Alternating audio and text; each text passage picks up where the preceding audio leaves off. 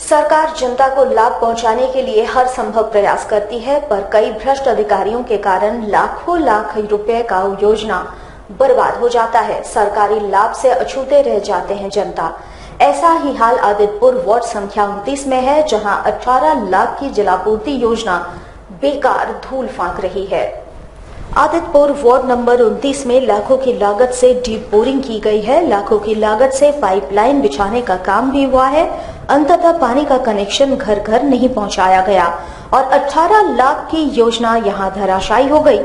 इस संबंध में जनप्रतिनिधि का कहना है कि इस वार्ड के हर घर में ऑलरेडी सरकारी पानी का कनेक्शन है। अब सवाल ये उठता है कि जब इस वार्ड में सरकारी पानी का ऑलरेडी कनेक्शन है तो फिर इस वार्ड में डीप बोरिंग करने का क्या अर्थ था? तो लगा के रखना ही है, वो, वहाँ ये है, मोटर वगैरह लगा है तो ताला तो बंद करके रखना है। ये एक्चुअली हम लोग दिए हैं अठारह और सत्रह, ये दोनों रोड के लिए। लेकिन सभी लोग अभी कनेक्शन नहीं लिए हैं। इसमें मुश्किल से चार लोग ही कनेक्शन लिए हैं। तो चार लोग के लिए हम लोग हमेशा तो मोटर चालू नहीं कर सकते हैं। अगर सब घर में कनेक्शन हो जाता है, एक मीटिंग हो गई, उसमें टीम बनेगी दस का, छह का, और वो टीम को जिम्मेवारी दी जाएगी कि भाई आप इस मोटर को एक घंटा सुबह, एक घंटा शाम चलाइए। लेकिन ऐसा अभी कोई लोग को इतना इंटरेस्ट नहीं है इसमें कि हम लोग को यहाँ से पानी लेना है। शायद सबके घर में पानी मिल रहा हो, अच्छी बात है। इसीलिए अभी उसको हम लोग उतना यूज़ नहीं कर रहा है। और जिसका ज़रूरी है, जिसके घर में एकदम पानी नहीं है तो उसका घर भी देना ज़रूरी है।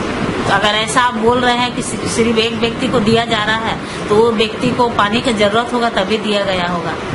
स्थानीय निवासियों की माने तो इस प्रोजेक्ट में घोटाले किए गए हैं क्योंकि जिस वार्ड में सरकारी वाटर कनेक्शन है तो फिर से उसी वार्ड में डीप बोरिंग करवाना किसी घोटाले की ओर ही इशारा करता है। यहाँ तक कि डीप बोरिंग पर ताला भी लटक चुका है।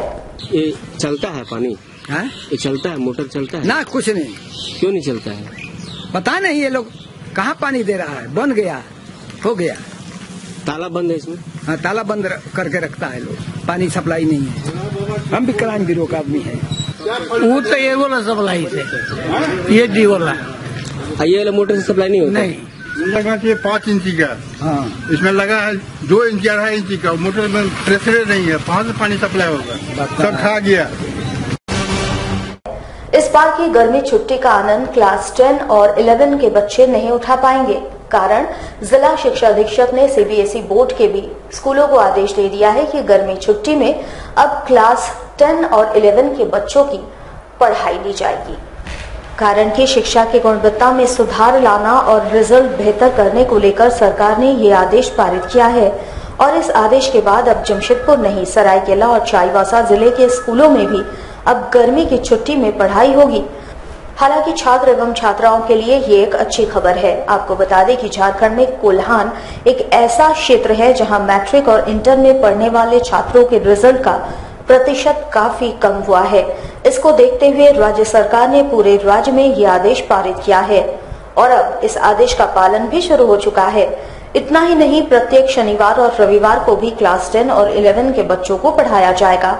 साथ ही साथ सरकार ने ये भी आदेश पारित किया है कि अगर इस आदेश को किसी स्कूल में अवहेलना किया जाएगा तो स्कूल के प्रिंसिपल और शिक्षक पर कानूनी कार्रवाई की जाएगी। A I W C academy of excellence में जो अभी गर्मी की छुट्टियाँ लग मतलब गर्मी की वजह से क्लासेस कम हो रही हैं, उसके बदले में हम लोग एक्स्ट्रा एक हफ़्ता क्लासेस रख के उसको कॉम्पेंसेट कर रहे हैं। वीक बच्चों के लिए अलग क्लास करेंगे। और दूसरे बच्चों का भी पोर्शन कंप्लीट करने के लिए कोप अप करने के लिए अनादा एक्स्ट्रा एक वीक क्लास रहेगा, शनिवार को भी क्लास है। जमशेदपुर की सामाजिक संस्था नमन द्वारा वीर शहीद मंगल पांडे के शहादत दिवस पर उन्हें याद करते हुए श्रद्धा सुमन अर्पित किया गया।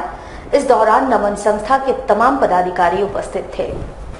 अंग्रेज़ सेना में रहते हुए अंग्रेज़ों के खिलाफ विद्रोह का बिगुल फूंकने वाले प्रथम स्वतंत्रता सेनानी वीर शहीद मंगल पांडे के शहादत दिवस के मौके पर नमन संस्था के द्वारा उन्हें श्रद्धा सुमन अर्पित किया गया।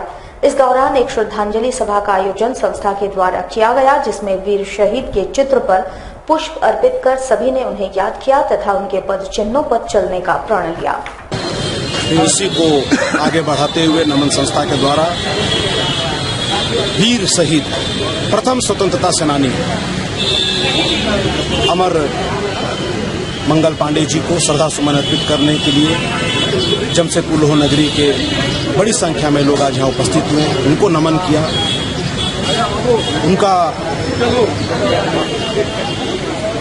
जो देश के आज़ादी के लिए जो उनका योगदान रहा, उनको नमन किया। उन्होंने जो कुर्बानी दी हम सभी के लिए, उनके कुर्बानी को नमन किया। ऐसे महान माता पिता जिन्होंने ऐसे संतान को जन्म दिया वैसे माता पिता को नमन किया, वैसे परिवार को नमन किया। शहर में बढ़ रही पानी की किल्लत को ध्यान में रखते हुए एसडीओ ने तमाम सरकारी पदाधिकारी तथा कॉरपोरेट घराने के पदाधिकारियों के साथ जलापूर्ति सुनिश्चित करने के मुद्दे पर विचार विमर्श किया। इन दिनों गैर कंपनी इलाकों में भीषण पेयजल संकट गहरा गया है। लोग त्राही मांग कर रहे हैं। समय अनुसार जल संकट से जूझ रहे लोगों तक टैंकर की सहायता से पानी उपलब्ध कराने समेत खराब पड़े चापाकलों की मरम्मती की दिशा में युद्ध स्तर पर काम शुरू करने का निर्देश एसडीओ मनोरंजन सिंह ने माथतों को दिया। साथ ही कॉरपोरेट घराने के पदाधिकारियों से जल संकट से जूझ रहे इलाकों में टैंकर समय अनुसार भेजने का निर्देश भी जारी किया गया। अभी गर्मी का मौसम इसके समय में हमें लोगों को कुछ कुछ क्षेत्रों में समस्या होता है, उसकी समस्या के निदान हेतु हम लोग सारे जो कॉरपोरेट सेक्टर हैं, हमारे यहाँ क्षेत्र में और N S C N S C जुड़सलाई के पदाधिकारी, प्रखंड विकास पदाधिकारी जमशेदपुर सारे लोगों के साथ बैठक किया गया। और बैठक में उस एरिया को हम लोग के द्वारा बताया गया, जहाँ पेयजल की समस्या होती है और वहाँ पे पेयजल के पहुँचाने हेतु सारे कंपनी प्रबंधन से टैंकर आपूर्ति करने के लिए हम लोगों को आग्रह किए हैं हम लोग। और उसको उसी निमित्त हम लोग बैठक किए, जिसमें जो समाज सेवी हैं और कुछ उनके टैंकर के द्वारा पानी उपलब्ध कराने के जमशेदपुर के एमजीएम अस्पताल की बदहाली को लेकर कांग्रेस चार सूत्री मांगों को लेकर जोरदार प्रदर्शन किया। साथ ही पार्टी के लोगों ने सरकार के विरोध में जमकर नारेबाजी भी की। कांग्रेस नेता फिरोज खान ने कहा कि अस्पताल में बर्न वार्ड सहित तमाम जगहों पर मरीजों की सुविधाओं का काफ़ी अभाव है। उन्होंने कहा कि जल्दी अस्पताल की स्थिति में सुधार नहीं किया जाएगा तो पार्टी आगे उग्र आंदोलन करेगी। कांग्रेस पार्टी की तरफ़ से कोल्हान में सबसे बड़ा अस्पताल एमजीएम मतलब महात्मा गांधी हॉस्पिटल। और ये हॉस्पिटल का यह हाल है, अगर जानवर को भर्ती कर दिएगा वही बेचारा मर जाएगा। विगत दिनों एक अपन्ना गुआ हमारी पेशेंट जल जाती है घर में, और उसका इलाज के लिए आता तो गैस नहीं रहता टंकी में, क्योंकि मैं थोड़ा पढ़ा लिखा हूँ, हमने चेक कर लिया तो देखा गैसे नहीं है, बेचारी तड़प रही है। तब बोलने के बाद, एक घंटा के बाद गैस आता उसको लगाया जाता है। हम ये मांग करते हैं, माननीय मुख्यमंत्री के क्षेत्र में ये अस्पताल आता है, जब ये अस्पताल का ये हाल है तो झारखंड का हॉस्पिटल क्या हाल होगा? अगर पंद्रह दिनों के अंदर अधीक्षक साहब ने यहाँ के जो स्थिति है, बदली है, उसको दूर नहीं किया तो अधीक्षक के कार्यालय में जाकर हम बैठने का काम करेंगे और वहाँ बैठकर उठने का काम नहीं करेंगे। कांग्रेस पार्टी काम पर विश्वास करती है। जमशेदपुर के एमजीएम अस्पताल में एक मरीज़ के परिजन ने दूसरे मरीज़ के परिजन पर रुपए चोरी करने का आरोप लगाकर अस्पताल में हंगामा किया। महिला ने युवक पर एक हज़ार रुपए चुराने का आरोप लगाया, जिसके बाद मौके पर साक्षी थाना पुलिस पहुँची और युवक को हिरासत में लेकर थाना ले गई। एएसआई ने बताया कि दोनों के परिजन अस्पताल में भर्ती हैं। महिला ने आरोप लगाया है कि दोनों को थाना ले जाया जा रहा है। लिखित देने के बाद उचित कार्रवाई की जाएगी। मेरा चोरी कर लिया है पैसा कितना पैसा? एक हज़ार रुपया आदमी का दोनों पेशेंट है। अब क्या सच है? उसका चोरी किया लिख के देगा केस होगा। ये आदमी यहाँ एडमिट है हॉस्पिटल में उस- उसका भी वो आदमी एडमिट है वो भी उसका भी आदमी एडमिट है इसीलिए उसका कहना है लेडीज़ का कि मेरा जो है पैसा एक हज़ार रुपया लिया। है ब्रेक के बाद हम फिर हाजिर हैं। घटते जलस्तर एवं जीप बोरिंग में आने वाली बेतहाशा खर्च को ध्यान में रखते हुए आदितपुर नगर निगम वार्ड संख्या 31 के बाबाकोटी आश्रम के निवासियों ने पाइपलाइन से जलापूर्ति करने की मांग को लेकर नगर निगम अध्यक्ष के साथ शिष्टाचार मुलाकात की। आदितपुर नगर निगम के वार्ड संख्या 31 बाबाकोटी आश्रम के निवासियों ने पेयजलापूर्ति के संबंध में आज नगर निगम अध्यक्ष राधा सांडिल के साथ शिष्टाचार मुलाकात की। क्षेत्र के निवासी जीप बोरिंग के बेतहाशा खर्च और घटते जल स्तर से काफ़ी परेशान हैं और नगर निगम की ओर से जलापूर्ति की अपेक्षा कर रख रहे हैं। क्षेत्र के निवासियों ने जल संकट के स्थायी समाधान की मांग की। इस बैठक में वार्ड संख्या 31 के पार्षद मनोज राय भी उपस्थित थे। मैडम को अवगत कराया गया है। प्रोसेस में जाने के लिए बोली है मैडम। अब प्रोसेस में जाके इंजीनियर को बुला के नापी जोखी होगा डीपीआर बनेगा उसके बाद पानी। कितना आबादी है? वहाँ कम से कम तीन से चार हज़ार आबादी है।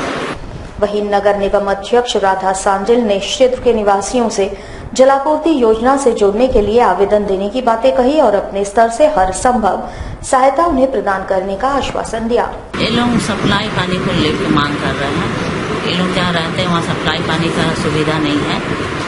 तो इन लोगों का कहना है कि हम लोग को भी सप्लाई पानी दिया जाए। तो मैं इन लोग से यही कही हूँ कि भाई आप लोग आवेदन दीजिए और उसके बाद फिर हम विभाग द्वारा जाँच करवाते हैं कि आप लोग को जितना जल्दी मिलेगा। हम अपना तरफ़ से देंगे। एएमजी न्यूज़ का असर दिख रहा है। डीपीआरओ ऑफ़िस के पास बने रिकॉर्ड रूम की सुरक्षा में लगे। जवानों के लिए जहाँ कल तक फ़ैन की व्यवस्था भी नहीं थी एएमजी न्यूज़ में इस खबर के प्रकाशन के बाद प्रशासन हरकत में आई और रिकॉर्ड रूम में फ़ैन की व्यवस्था बहाल कर दी गई। एमजी न्यूज़ में हमने रिकॉर्ड रूम की सुरक्षा में बहाल जवानों की स्थिति से आपको रूबरू कराया था। यहाँ इस भीषण गर्मी में जवानों के लिए फ़ैन की व्यवस्था भी नहीं थी। न्यूज़ टेलीकास्ट के बाद प्रशासन हरकत में आ गई और यहाँ तुरंत फ़ैन लगाया गया। इससे जवानों ने भी राहत की सांस ली है। गर्मी सब ठीक ठाक हो गया। कितना जवान यहाँ पे ड्यूटी में है? चार जवान एक बंदा अभी सब ठीक ठाक है? सब ठीक ठाक कौन लगाया है पंखा? तो बोलना पड़ेगा। बोले ऑफ़िस वाले। ऑफ़िस में। ऑफ़िस में लगाया आपको दिक्कत नहीं ना है? कोई दिक्कत सरकारी स्कूलों के नव नियुक्त शिक्षकों के लिए आज से 10 दिवसीय ट्रेनिंग प्रोग्राम की शुरुआत। हिंदुस्तान मित्र मंडल विद्यालय में हुई। हाल के दिनों में सरकारी स्कूलों के लिए शिक्षकों की नियुक्ति की गई थी। आज गोलमोरी 10 नंबर बस्ती स्थित हिंदुस्तान मित्र मंडल उच्च विद्यालय में आज अप्रैल से इन नव नियुक्त शिक्षकों के लिए प्रशिक्षण कार्यक्रम का आयोजन किया जा रहा है। 10 दिवसीय प्रशिक्षण शिविर के तहत इन शिक्षकों को कई सारी जानकारियाँ प्रशिक्षकों द्वारा दी जाएगी। एजुकेशन सिस्टम एवं छात्रों के साथ सटीक तालमेल के संबंध में बारीकी से इन्हें जानकारी दी जा रही है। मैं श्री अरविंद सोसाइटी से चेतन खांडवाकर यहाँ पे टीचर्स ट्रेनिंग के लिए आया हूँ।